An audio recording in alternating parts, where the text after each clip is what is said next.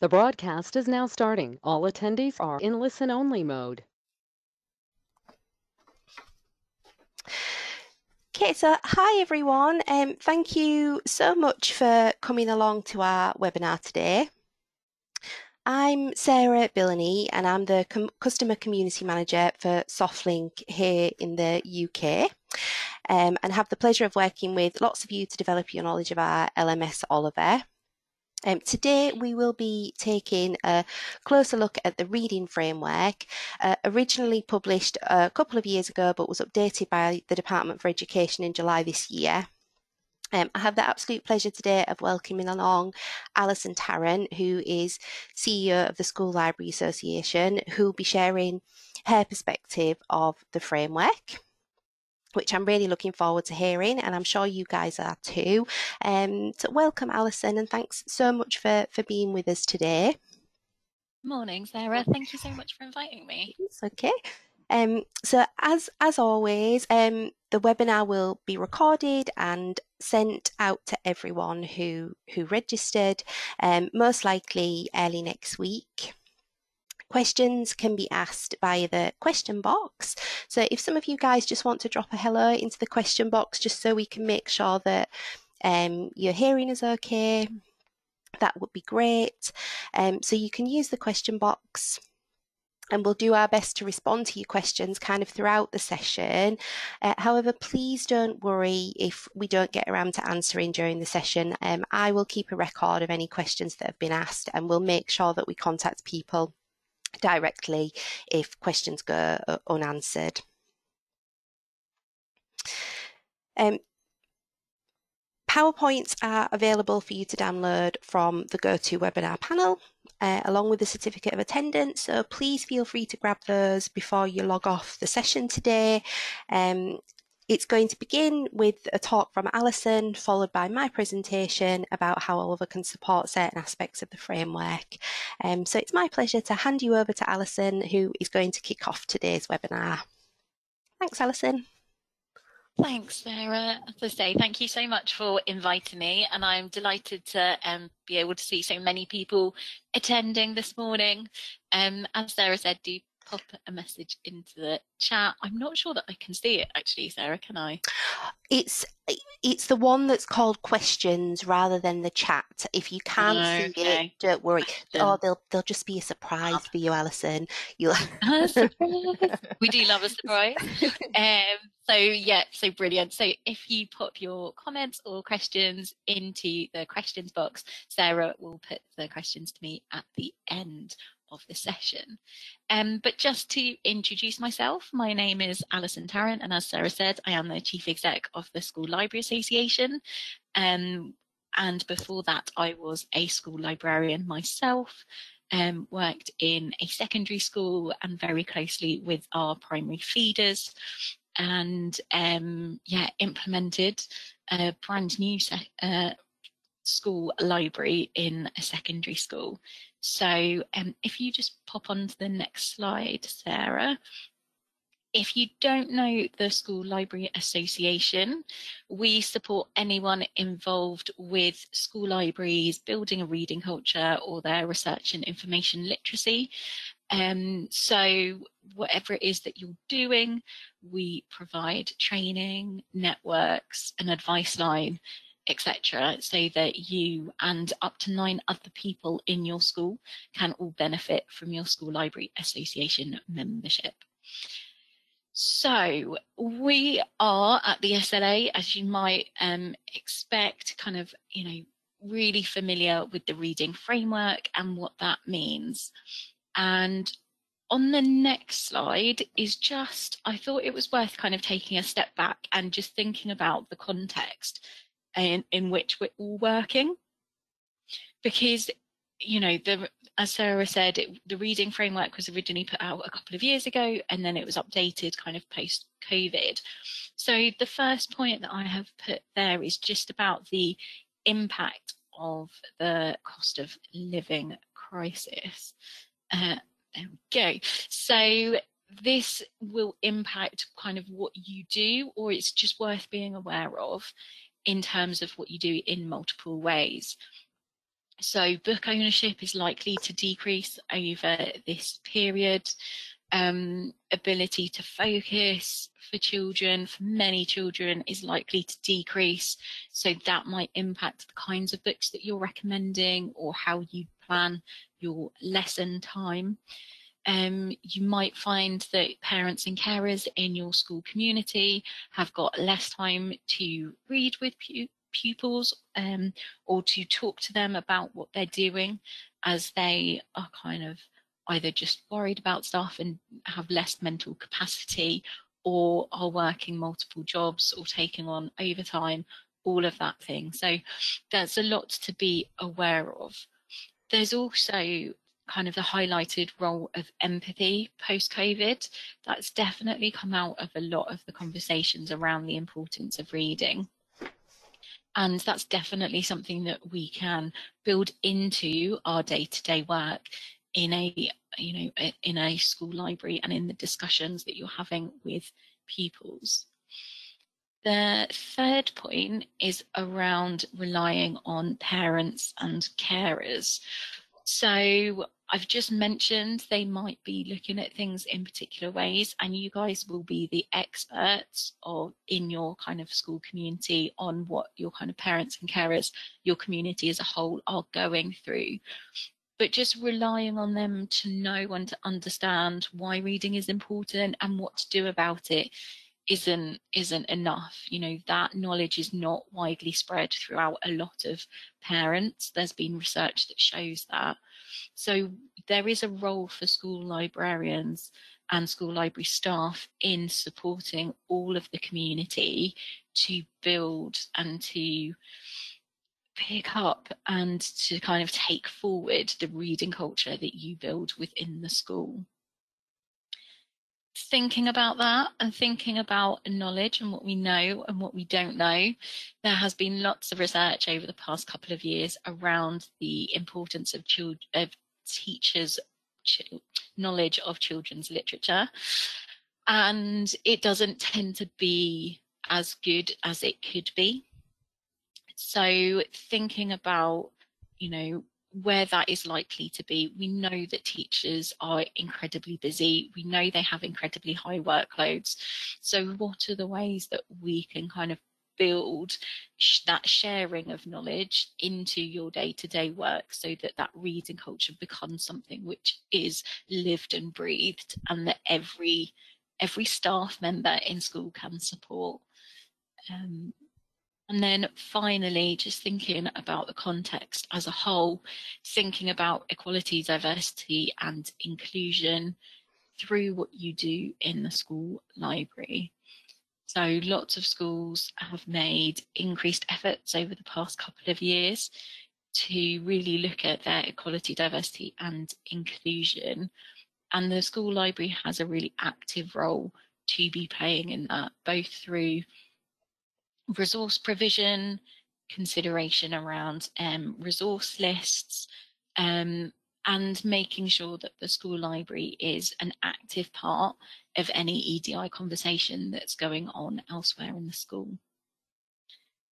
So that's kind of the context. Now, the reading framework actually starts with a really helpful overview around the importance of reading. And this is something that I tend to do in all my training. So forgive me if you have seen this slide before, but I think it really pulls together those main core um, pieces around why reading is important. So you've got the well-being element, you've got the vocab element, you've got the emotional development element, happiness, you know, critical thinking is something that we're getting a lot of discussion around. And then this all important quote in the yellow at the bottom from the OECD, which highlights that reading is more important for children's educational success than their family's socio-economic status. And that really, you know, speaks volumes in terms of the impact that reading can have. But none of those are my favorite quote around the importance of reading. The fact that I have a favorite quote around the importance of reading kind of speaks volumes about um, how geeky I actually am about this. But on the next slide, is my favorite quote. And this is it. So I'll just give you a couple of seconds to read that.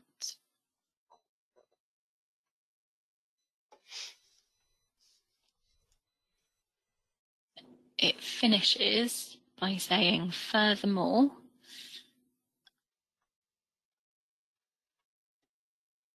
There we go. And then Sorry, just to finish it. That's all right, no. And just to finish it, because I am librarian through and through, there's my reference. Reference. um, so this is my favourite quote because we cannot understate the importance of reading because the consequences are reciprocal and exponential. So the more you read, the more you benefit from it, and that benefit never stops. Now that has profound impact on on everything that we do.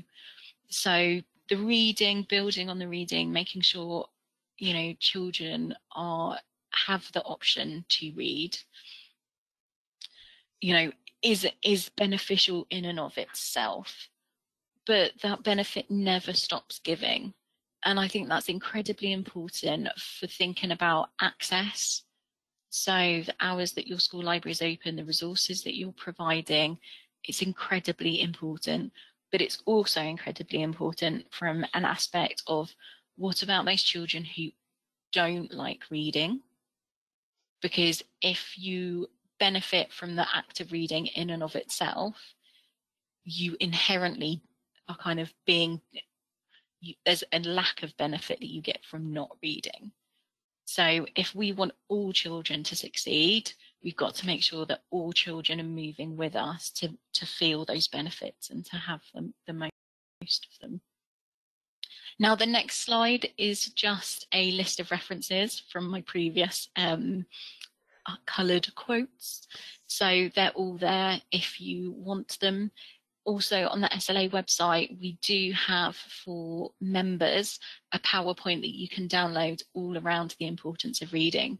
So if you want to do a presentation around this for staff or for parents, you don't have to start from scratch. You can download it either through using the quotes that are here and building your own, or if you are an SLA member, just from downloading it from our website. So the reading framework starts with that kind of recap around the importance of reading. And then it moves on to the importance of reading aloud. And Farshore, or how to read aloud, and Farshore have done some new research in this where they put um, worked with schools to put in a, um, a story time each day. So teachers read to children for at least 20 minutes each day purely for enjoyment with no formal teaching attached.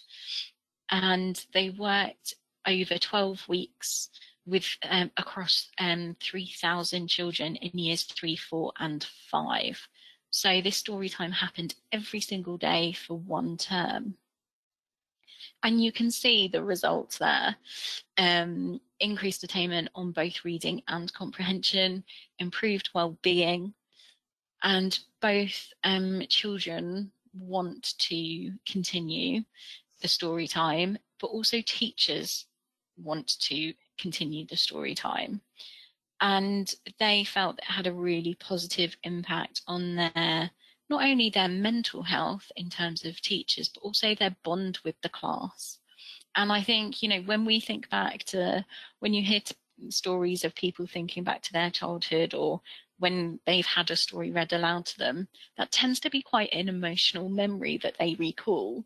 You know, I remember being in primary school and my head teacher reading to me the twits, and he was sat underneath the projector and they'd project the um, classic old school OHP um, projector and projecting the illustrations and just reading the text aloud. And that definitely contributed to my love for reading. And one of the things that's quite often overlooked when it comes to reading aloud is that it's inherently accessible. So it doesn't matter if children are incredibly gifted at reading or if they really struggle. If they are sat there listening to someone read, you are giving them the opportunity to lose themselves in that story and you're removing the barrier. So you're removing the thing that makes reading difficult and you're letting them experience the thing that makes reading worthwhile, which is the pleasure of it. They're getting lost in the story. So it's absolutely something that is is vital. It's really important at secondary as much as at primary. You know, what you do is the same thing. You read books aloud. How you do it is different. And the text that you read will obviously be different. But it's equally, you know, good for all pupils and you can make it stretching. And there's been so much research around the benefits of it um, that it's just really worth kind of having a look at and seeing if you can build in that time. You know, if you've got library lessons where currently everyone is just sat down and reading independently, perhaps you want to have a think around whether there's an opportunity to build in 10 minutes of reading aloud to start that lesson. Um, and you'll have ideas around how you could build that in. The reading framework also talks about the choosing and the organising of books. so this is a an area where I agree with quite a lot of what the reading framework says, and I disagree with some areas of what the reading framework says. So it is worth having a look at it for yourselves and just kind of breaking it down and thinking about it in your context and how it would work for your school. There is a lot of discussion in the reading framework about making sure that books are accessible and that children are reading books which are at an appropriate level for them. Now, I completely understand that and I think that is important, particularly when children are learning how to read and making sure that its books are approached in a way that gives them sufficient scaffolding and the support that they need, whether that's to do with the mechanics of reading or whether it's about the, the context and the comprehension and the subject matter that they encounter. You know, we need to make sure that that scaffolding and that support is there for all children. I would encourage you, and this is why it's number one, to think quite carefully about stigma being attached and some of the unsaid messages that we can send through how we organise our books and through how we make them accessible.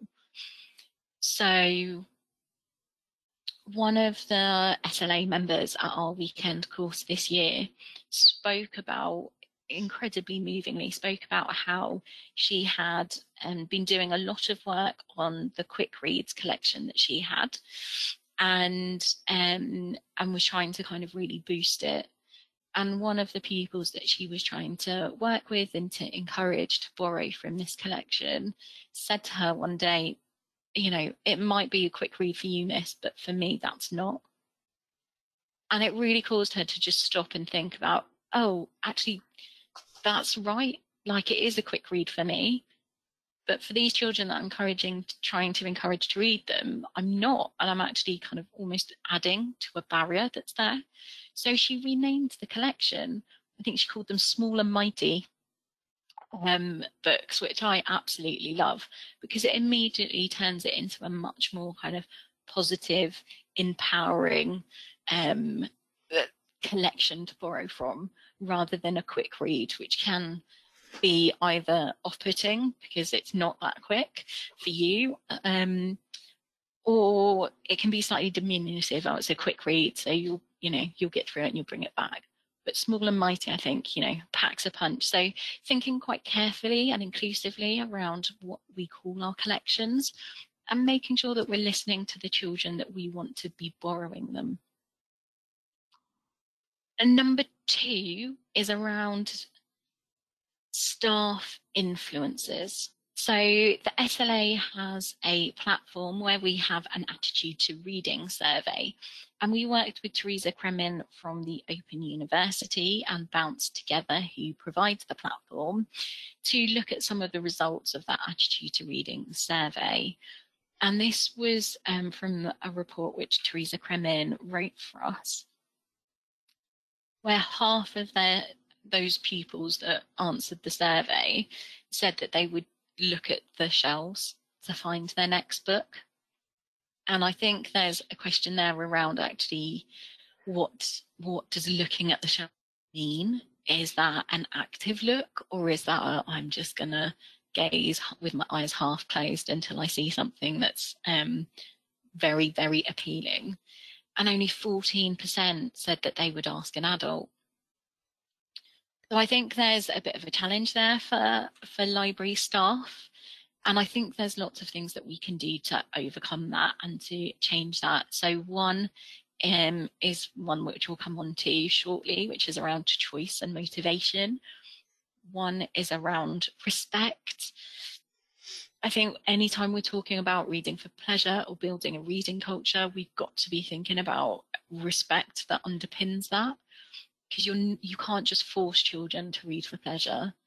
You've got to try and entice them or encourage them or cajole them or you know unrelentingly keep recommending books until you hit one that they like so thinking about how active your kind of your staff team are as influencers are they talking about books? Are books visible? Is reading something that they're shown to be doing?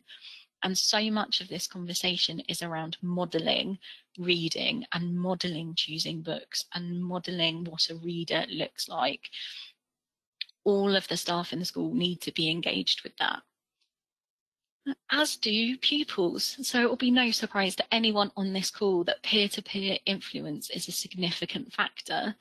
And a lot of children who answered the attitude to reading survey said that they would take recommendations from their peers. So encouraging children to talk to each other around what they're reading, what books they like, what books they don't like, is a really important part of building an active reading culture. Um, so not being worried about that book talk and that book discussion, but building in time for those discussions to happen. I've mentioned the importance of respect, and that comes down to as well choice and motivation. So pupils choosing for themselves what they want to read, and that might be having a book that they learn from in terms of learning how to read and decoding, and having a secondary book that they read for fun, which is one that they have chosen. It might be around to the format of what they're reading, so supplying graphic novels or magazines to allow them to have that choice. And as I mentioned, it, you can't, you know, set a child down and force them to read for pleasure. So you've got to find a way of tapping into that individual and giving them the motivation to read for themselves. And the reading framework makes a really interesting point around the relevance and importance of rewards. Because what you're trying to do when you're encouraging a child to read for pleasure is to give them that internal intrinsic motivation to read for themselves and because they want to. And the reading framework questions whether external rewards can do that um, they recommend making sure that any rewards are book related. I kind of question that. You know, that's great for those children who love reading. They're going to read and they're going to get rewarded with something that enables them to read more. But for those children who don't like reading, that reward isn't going to be a reward because they don't like reading. And I think I worry that that increases the disparity between our readers and our not readers instead of leveling them up. So I think there is a role for rewards. I think you do need to be careful and, and use them in a considered way when it comes to the intrinsic, extrinsic motivation argument. But I have found, you know, and you will know in your school the things that work for your community, whether that is, you know, passes to skip the lunch queue or house points, but it's always only ever a kind of a starting point. You need to find something to hook those children in to get them reading initially, and then try and move that on so it becomes more of a kind of natural personal motivation rather than only ever relying on those external rewards. The framework also talks quite widely around building a reading for pleasure culture. Um, So I just put together five top tips. It's a whole training session in and of itself. The SLA have a document called Get Everyone Reading, which is freely available to download from our website. Um, but here are my top five tips. It is not a culture if it's just you talking about it. That's number one. okay, so it can't just be relying on you as the literacy lead, as the reading champion, as the librarian, whatever your title is, it cannot just be you. So think about what you need to do to make sure that that reading for pleasure culture is embedded across the school, across the year groups, across the subjects, and that every teacher and every member of school staff understands their role now, earlier on, I was talking about the importance of children's, of teachers' knowledge of children's literature. And that was very specific because the research that has been done has been done on teachers and specifically their knowledge. But when we at the SLA talk about be, building a reading for pleasure culture, we are very purposeful about the fact that it should be all staff. Not all teachers, not all children will identify with teachers. So we need to make sure that every child has a reading role model that they look up to. So get your your site team um, talking about reading, get your catering team, you know, talking about reading and showing the children that they read, your TAs, your science um, laboratory assistants, whoever it is in the school, you know, just try and diversify what a reader looks like but it also needs to meet needs to reach much wider than that. So thinking about how do we extend that out to parents and parents and carers? How do we push that out to groups or organizations that the pupils are spending their time with beyond school? Are there particular leaders in your community that you could reach out to to do some reading promotion and to again kind of show that everyone is a reader and this is what it looks like in this context. It needs to be built on respect and enthusiasm. So, you know, setting detentions where children just read or is that really sending the right message? Is that what you want to be saying? Reading's a punishment. Um, you know, I, I get it. Sometimes it's a necessary evil, but you know thinking again about those kind of unsaid messages what are the the things that we are showing pupils rather than the things that they are telling that we're telling them? We all know that children are so quick to pick up when we're not being authentic about something. So just trying to kind of consider that in a really holistic and whole school way it's about building those links between the individual readers and the books or the resources that they have. So know the pupils that you're working with, know who your reluctant readers are, know what's going to kind of turn them. There is a way to get every child to understand what reading can do for them. It might not be an instantaneous, um, yes, miss, now I've read this and I love reading it might just be a okay i can kind of see that in my future that's going to benefit me. But have those conversations and know the kind of logic that will work for them. And then be really clear about what counts as reading. So reading is one of these things that is overloaded with stereotype um, and we can end up really pigeonholing people or making them feel like they're not a reader because they don't fit into that pigeonhole. So quite often, you know, you ask a child, are you a reader? And what they will imagine will be someone probably female because that's a gendered stereotype thing. Uh, probably female, sitting in like an armchair, probably next to a fireplace, reading a big old novel for hours on end and that is some of the unseen, undisclosed stereotype that attaches itself to the act of reading. So let's let's break that down. You know, let's show that everyone is a reader. Let's show that different formats of reading count and are valuable. uh, let's show that reading can be done in 20 minute snippets. It doesn't have to be hours and hours. So be really clear for you as a school what counts as reading. And one of the important ways that you can do that is to know who your reluctant readers are, if that's a phrase that you want to use. So on the next slide, I have just broken down some of the ways that you can do that. So you can have your um, attitude to reading on a kind of set scale. So children will have a positive, negative, somewhere in the middle attitude towards reading. You can find out what that is. And then when you've got that, you can also combine that with your reading or with their reading age, which kind of helps you break down the different criteria and the different groups of children that you've got and you know quite often we think about readers being high at high reading age and having a positive attitude to reading they don't always you know you can have a, high ability to read but just not want to do it. It's just not for you as as a person. And that is a very different intervention that you would do from someone who feels negatively about reading but who doesn't who has a lower reading age.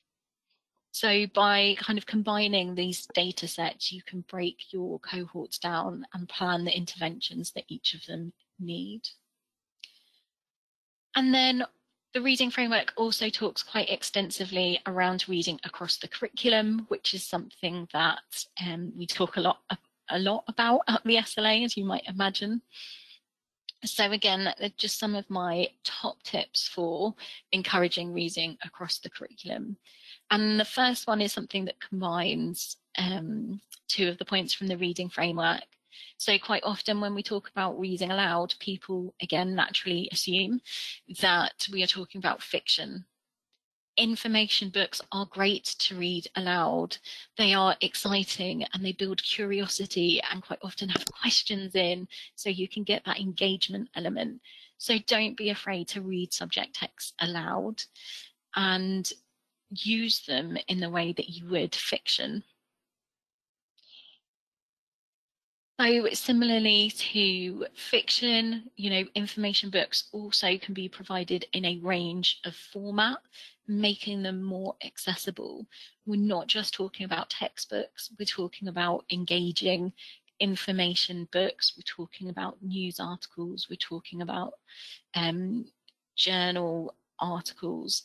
And again, part of encouraging someone's reading journey is to keep them exposed to a step or two beyond what their current reading level is.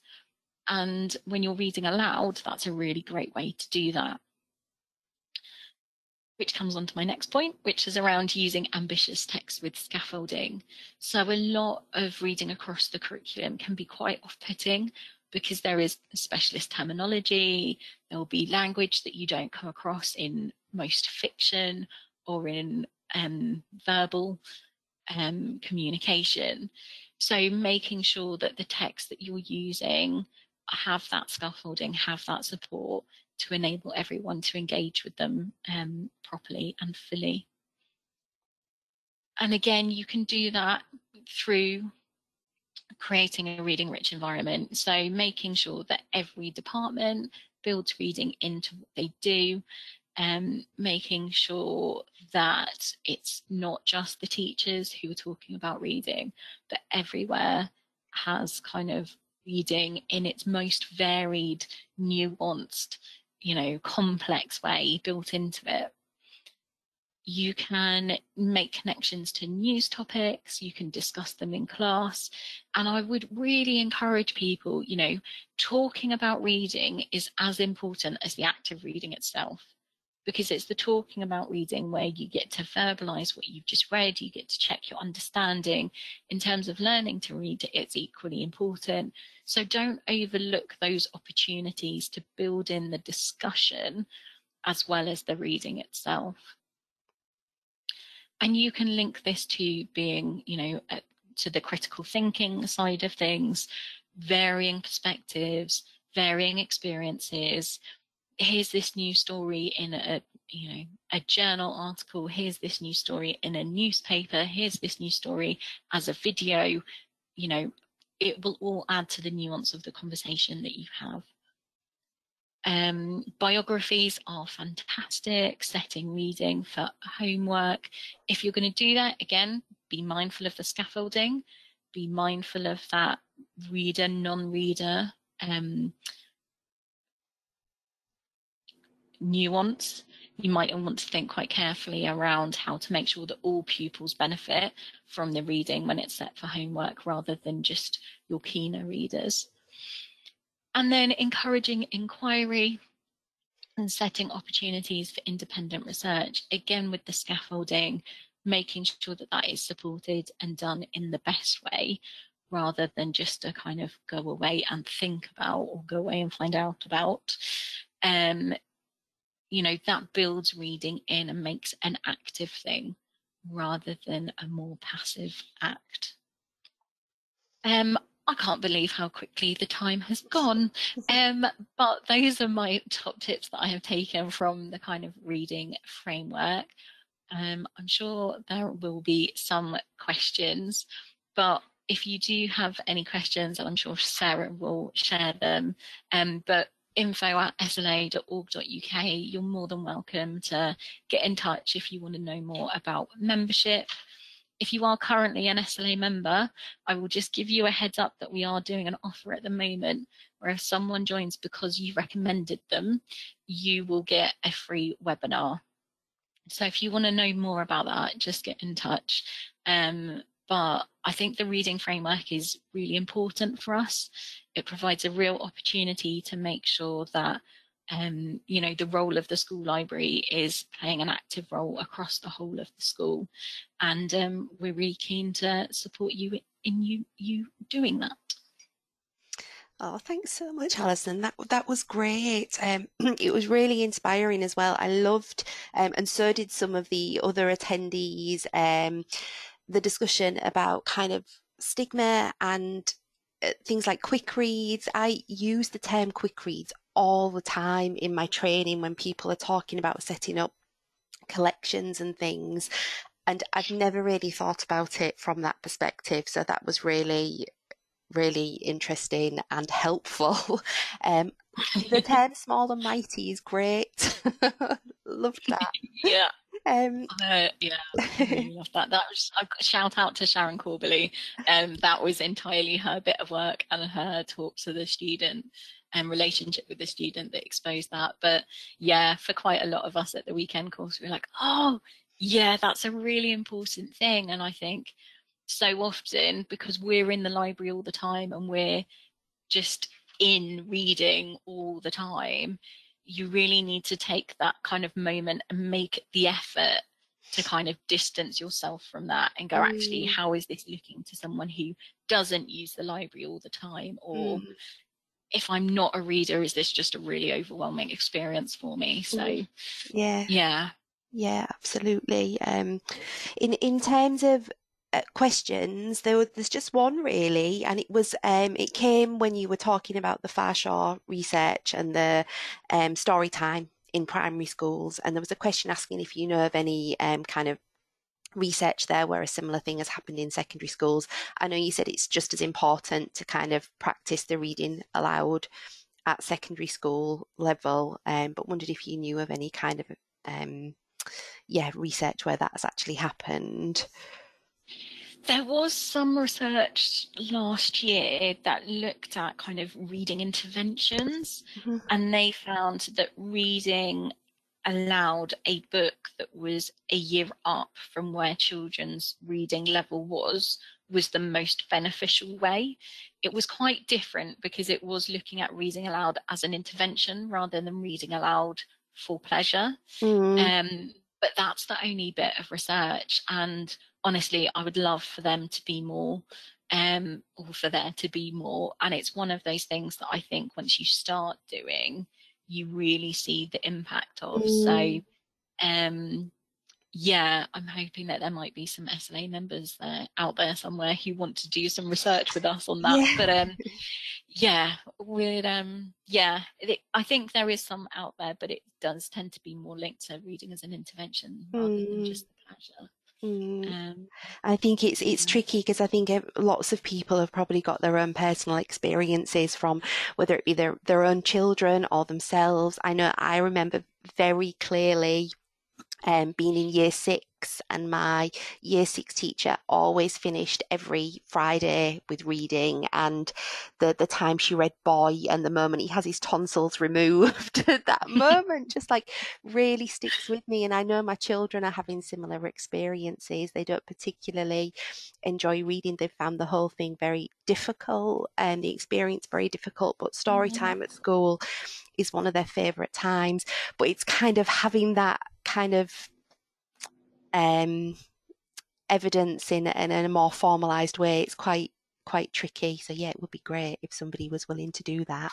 Um, right, so we've just had some more questions or comments come through. Um, so one one attendee said he started reading aloud to to library classes in secondary school. It's working really well.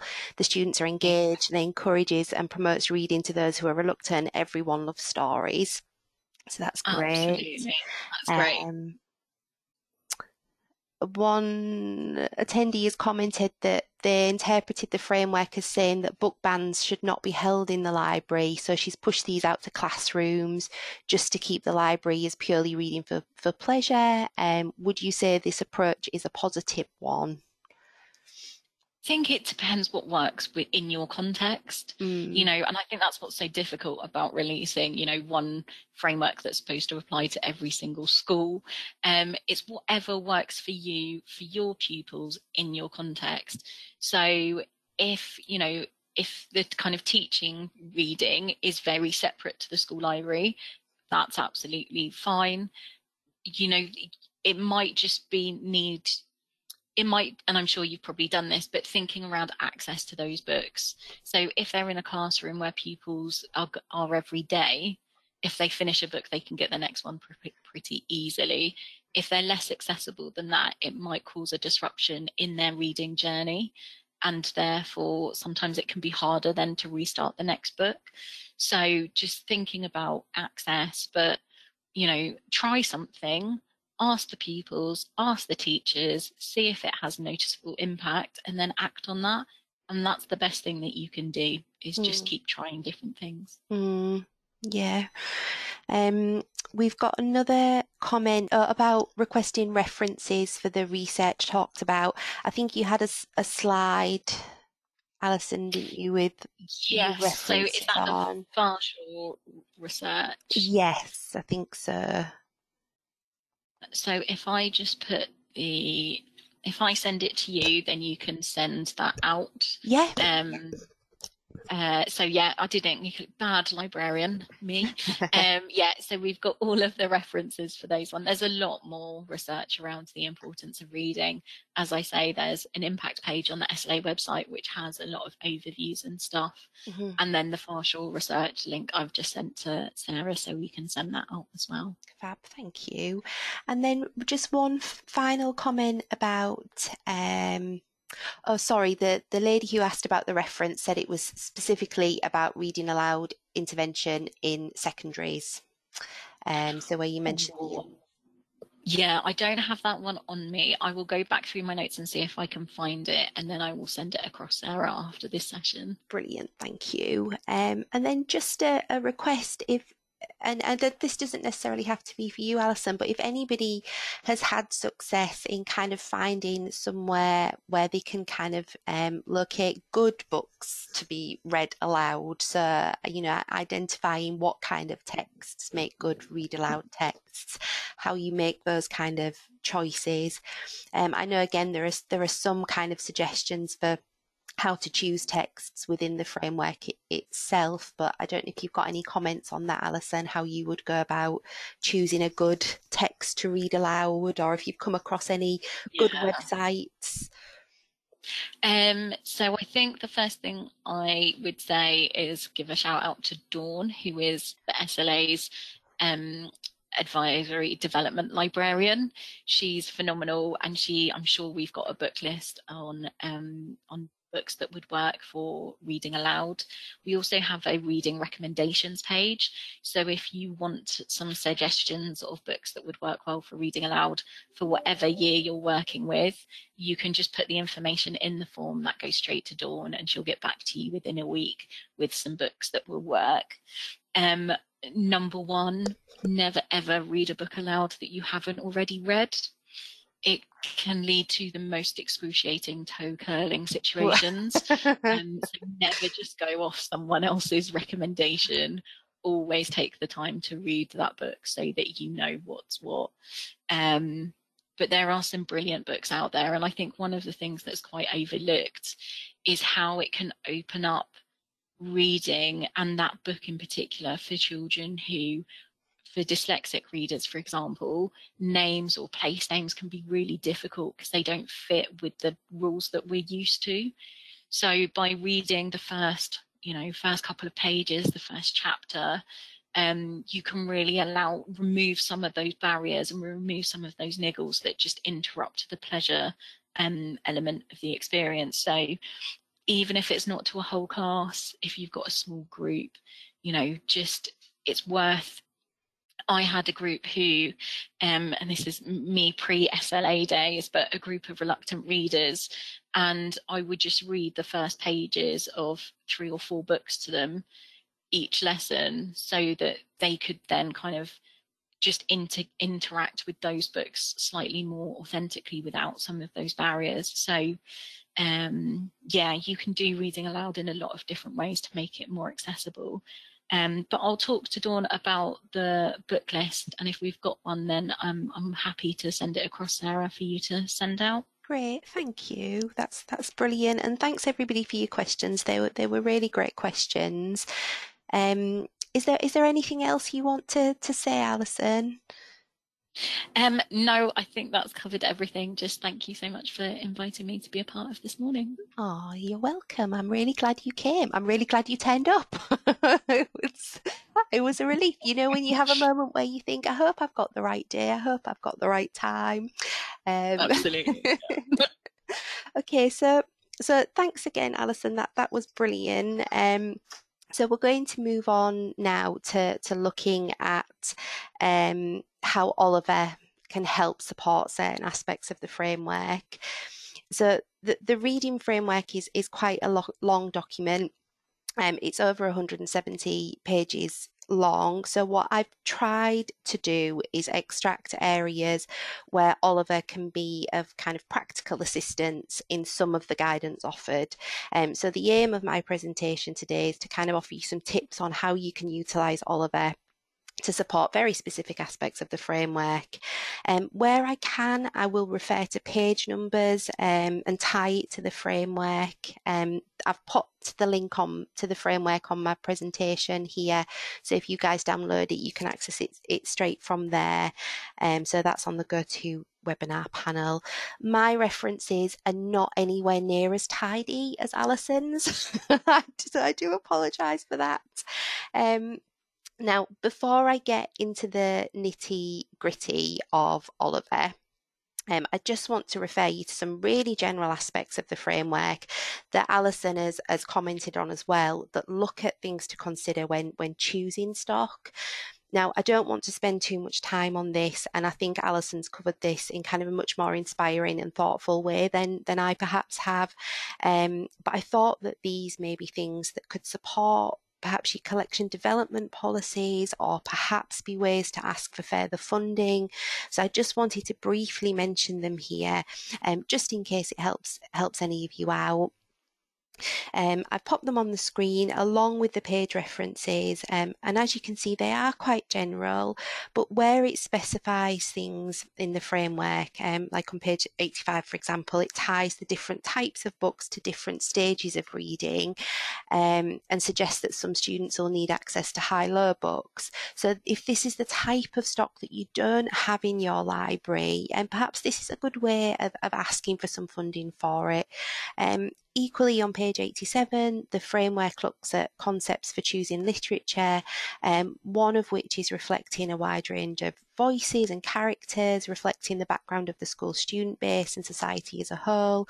I know Alison commented how a lot of libraries, we've done so much work in kind of um, really engaging with our EDI policies. Um, so if you feel like your stock isn't mirroring the diversity of your school, or perhaps you've done an audit to confirm this, it's here in, in black and white within the framework telling you to do this. So although we want to do this for the benefit of our students, having it here in kind of an official document might be another angle for kind of getting the required funding for these much, much needed texts. Um, so secondly, on, on page 89 of the framework, there is a section that looks briefly at the organisation of stock in school libraries. And again, I don't want to teach you guys how to suck eggs. And, and again, Alison has, has really kind of um, given us a, a a thoughtful perspective on this. Um, however, as I mentioned earlier, often when I train new Oliver customers, they look for a bit of guidance on the creation of collections within Oliver. So by collections within Oliver, I mean the collections you set up under this kind of management collections area here. So you've got collections listed in here. Okay. Now, these categories are great as they help students um, to find what they're looking for. They also allow students to filter searches on the Oliver OPAC, and you can generate learn statistics by collection. So they're a useful reporting tool too. Um, loads of schools I've worked with use things like fiction, non-fiction, um, and things like quick reads, which obviously we've discussed today, um, alongside the concept of kind of stigma and things. So that was a really kind of helpful kind of commentary on what what is listed here and some of the options that the the framework suggests for organizing your stock um, if you are at a loss on what collections to create and how to categorize your stock in general, you might find this a helpful starting point to kind of mirror what, what you're going to do on, on Oliver. I'm not suggesting that you use all of these or that they'll be right for every school, but if you're looking for somewhere to start, this could well be it in, in terms of organising your stock. So moving away from the more general stuff um, to more specific things, um, page 89 of the framework looks at classroom libraries for primary schools and the benefits of using the main school library as a place to kind of regularly replenish classroom stock from. I think this section is kind of um, crying out for you to sort of utilize the resource box feature and Oliver. Uh, whether you're a primary or a secondary school, you may find this a helpful tool if you want to issue books to classrooms in, in bulk. So resource boxes are essentially boxes of books that you can issue to um, a staff member to keep track of what they have in the classroom. So I'm going to very briefly show you how to set a resource box up on Oliver if this is something that is new to you. So a resource box can be added from the cataloguing menu here and you go to your resources area and manually add a new resource by pressing this button here. And then you give the resource box a title. I'm just going to call this um, the animal resource box and press add. And then I'm going to manually add it. The resource record itself can be very kind of stripped back. You don't need to kind of fill all of this in um, in the way that you usually would. I'm even going to kind of adapt some of the fields. So um, not publisher. In publication date, I'm just going to put the date that I created the resource box. And it might even be that in things like the description field, instead of kind of having your page number and things like that, you might just pop um, that this is a resource box. So kind of utilize the fields as, as you see fit and then save it. Once you've got your kind of base record there, you then go on to add the resource box. So it's kind of a two stage process. And then again, you ask, you're asked to give it a name. So I always give it the exact same name that I've just given the resource record itself. You can kind of complete classification and collection and things and resource loan category if if relevant. Um, the resource box barcode, that will be the barcode that you're kind of sticking onto the box to be able to issue everything within it as one, um, one issue. I'm just going to let the system generate a barcode here, but you would probably be popping a sticker on your box and scanning that in. And then down here is where you scan in the, the resources that you want to add to your resource box. So I'm just going to pop a couple of items in there and then I'm going to create that by pressing this little add button up here. And then it's just asking me to confirm that these are the books that I want to go into my resource box. So I can finalize it there. And then this is what the resource box details screen looks like. Um, so if I were to kind of navigate away from this page and go and do something else, I could go straight to the resource boxes area here and click through to that screen if I wanted to add more books to this resource box, etc. Now this barcode here is my barcode for the box as a whole, and that is what I could use in my circulation desk to issue that box of books to a to an individual. So I will.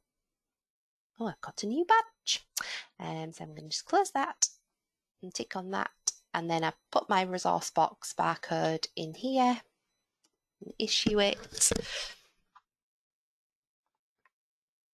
And you can see that it's issued both of those items in that box in one go.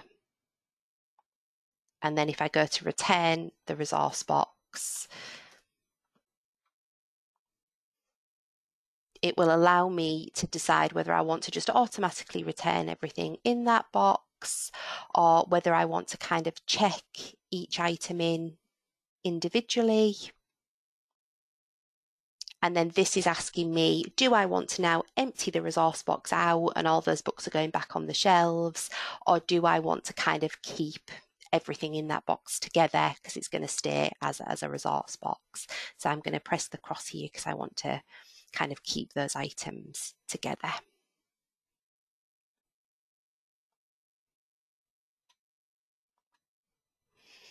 So you could use this feature um, as a tool to issue a box of books to a, a classroom or form room, and this could be swapped each half term or so, just to kind of keep replenishing the, the stock there. So, moving on to another part of the framework uh, that discusses the need for a strategic approach in creating a culture of reading within a school and again, Alison talked about this how creating a culture of reading can't just be down to one person. So, and she said um, very eloquently, a, a, culture is, is not just one person. Um, some of the recommendations in this section of the framework include things like encouraging informal book talks that encourage recommendations from peers and adults and the opportunity for sharing books. Now, again, Oliver can't do this on its own, but it does offer some tools that will support this. So, for example, the book reviews function so pupils can see that their peers have, have read a book and enjoyed it. Um, all of you have access to, to the book reviews function, which allows the kids to, to write reviews and they display either kind of on the individual records or you get this kind of book reviews heading here um, to browse books that have had reviews written about them, or if they come across a book on the catalogue that's had a review written about it, they'll be able to take a look and see what, what that is. Um, or having the function to, to share books uh, with their friends using the share function on the on the OPAC. Um, you've got underneath all the cover images all of these different share options underneath individual items so they can either send that as, as an email or they could copy the link here and pop that link in an email that they've written. I quite like the the the, the web link. Um, the the email that gets sent from the first option here is a plain text email, whereas the little web link there, obviously, when the students click on that, it directs them to Oliver and shows them kind of the cover image of the book, and then they're they're kind of in Oliver, ready to start browsing and, and do other do other things. Um, in addition to being able to share individual items, um, you know, you can share items in, in bulk. So perhaps um, they've done a search for a particular a particular book and they want to add all of those results to the basket, which they could do using that button there. And then from here, they could share share all of the items in the basket. They're kind of given more options to share with in that way too.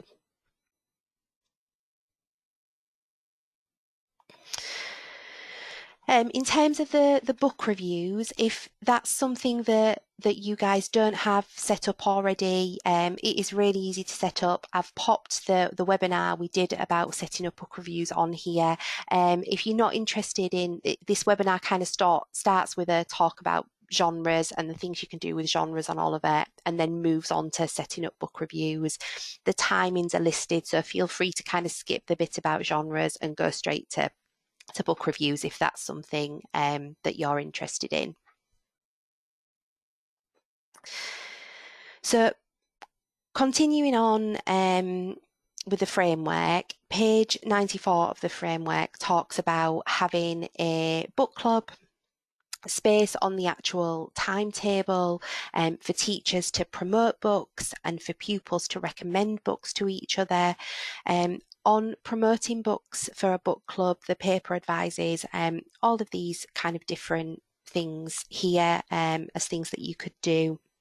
So there are some very fairly general things here, but things that Oliver can support you with, for example, um, include things like in recommended books. So if you like this book, you might also like. Um, the sliders on your browse list page will support you with this.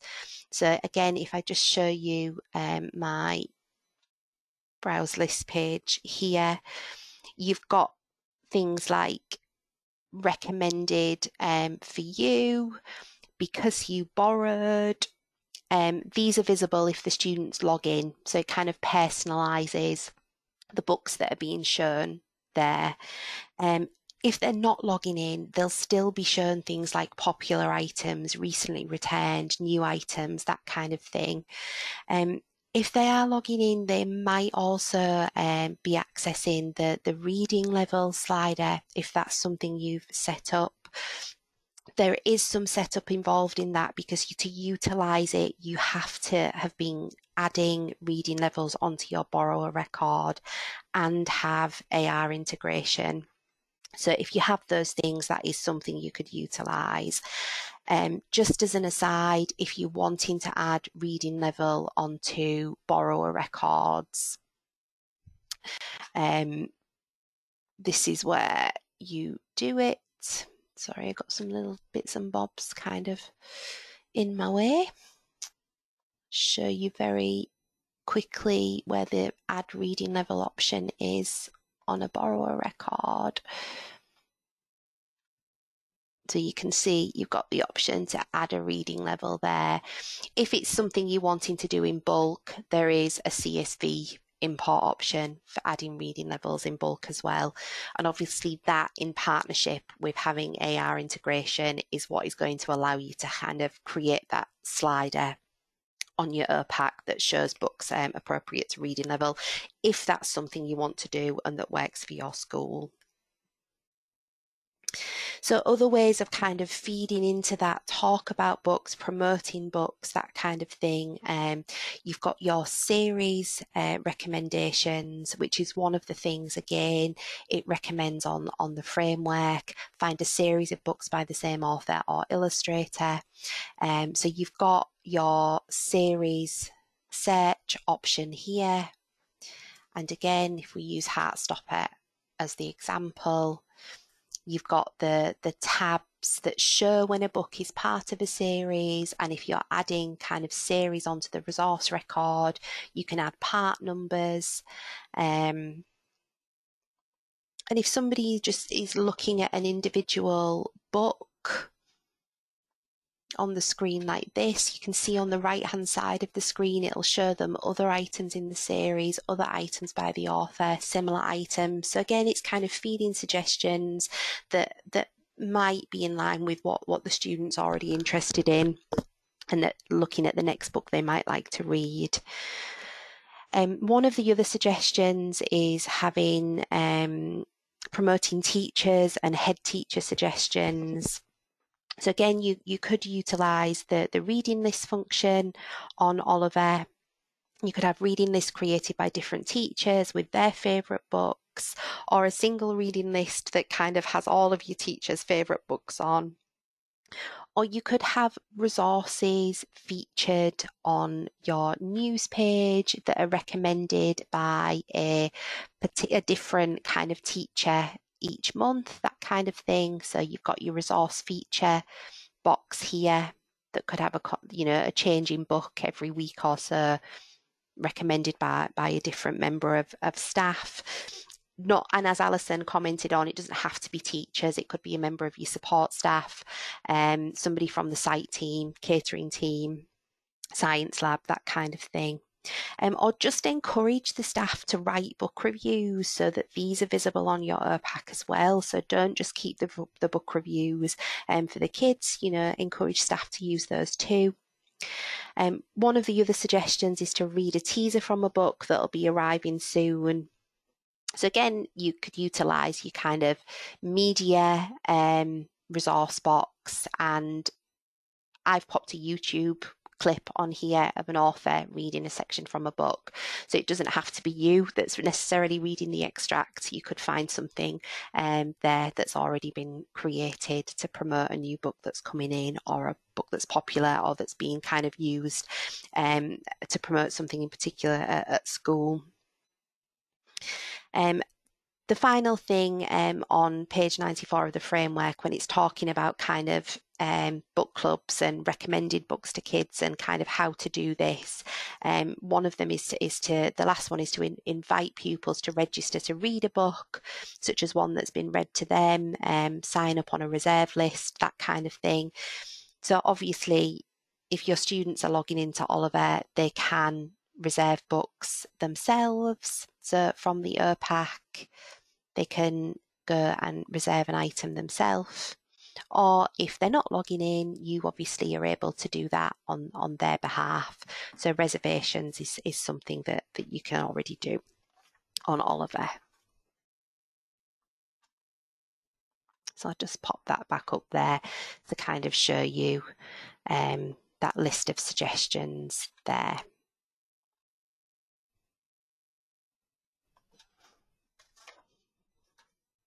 So the framework then goes on to talk in more detail about the importance of peer influence. Um, this suggests things like advertising what others have enjoyed through classroom displays, signs and sticky notes in the books themselves. So people who read this book also enjoyed. So obviously, as well as your physical visual displays or putting those notes in the books themselves, pupils can also gain insight into what is being read and what their peers are reading via Oliver. So some of those things we've looked at already with those sliders that are visible on the browse list page. All of those sliders can be added to your news page as well. So the, the, there's always kind of a visual representation of what's popular, what's just been returned, um, what's new um, there on your OPAC for the, for the kids to see. It also suggests asking the pupils to provide two or three word reviews, um, offer them vocabulary suggestions such as heart wrenching, um, intriguing, uh, page turner, that kind of thing. So you could use this work to encourage them to write those kind of reviews on, on Oliver. It also suggests things like maintaining a top 10 list of fiction and non-fiction, um, again, you've got your popular resource sliders, or you could utilize things like your circulation reports to find out what your most popular books are and keep an up to date visual display of this in, in the library.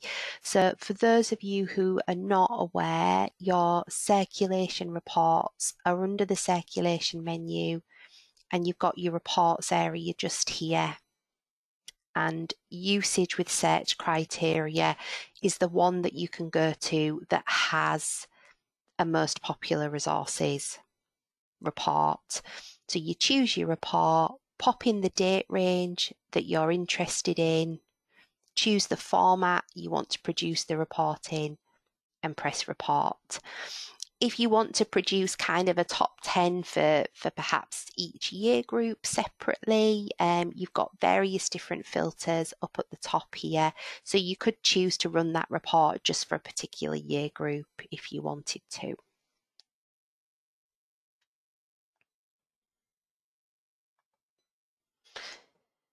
So I think there is quite a lot to get your teeth into there and there are different areas for you to explore.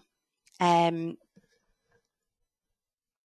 if any of those areas that I've kind of briefly given you a whistle stop tour of today um, are not familiar to you and you need a bit more information about how to utilize some of these function functions. Um, I've provided webinars on most of the areas I've discussed. So things like, you know, working with series in more depth, setting up book reviews, um, creating reading lists, that kind of thing. Just generally promoting the use of Oliver at your school. So we've got kind of separate webinars on, on all of those areas. Um, so you can dig a bit deeper with them, but please don't hesitate to drop me or the support team an email and we can guide you through your specific requirements. Um, Thank you all so much for coming along today. I can see a couple more questions have come through, um, but we've already, or I have, have overrun slightly, so I'm going to kind of answer those individually if that's okay. Um, so I'll drop you, those of you who have asked a question and haven't responded to it, I'll drop you an email in the next hour or two. Um, a special thank you to Alison um, for coming along. Um, really appreciate you taking time out of your day, Alison, to come along and, and speak with us all today. Um,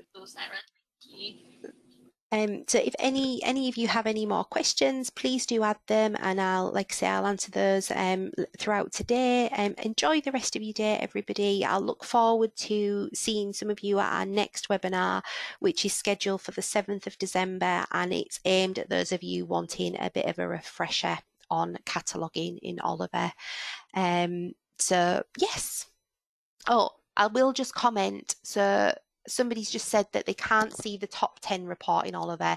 Um, it's not a top 10 report, it's just most popular resources and it gives you the top 100. So you would essentially just need to extract the first 10 on the list. So sorry, I was a bit unclear there, getting carried away. Um, but yeah, have a great day, everybody, and thanks so much for coming along.